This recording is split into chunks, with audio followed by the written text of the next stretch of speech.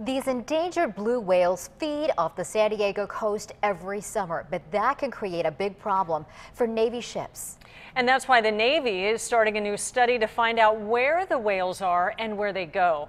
New at 10 News at 6, 10 News reporter Bob Lawrence with how it might mean fewer collisions.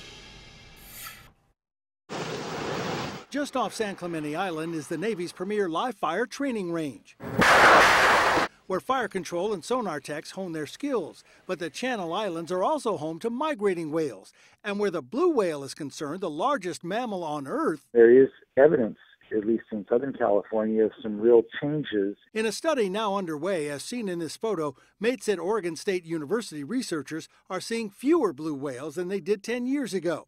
The study is funded by the Navy. You know, where do they go the most? And can you tell if is it the same every year or is there changes from the 1990s to say the 2010s? To date, 21 whales have been tagged and as seen in this video, which is data from a previous study, the movement of a single whale is all over the map.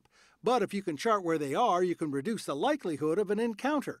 Last March, a whale watching boat in Orange County snapped photos of a Navy ship that didn't see the whales in the area until warned on the radio. The blue and fin whale study is one of four to five different studies now being funded by the Navy going on right now in California waters in 2014. One of those studies involves the impact of sonar, something the Navy insists it has to use in order to train, but which environmentalists claim harms marine mammals.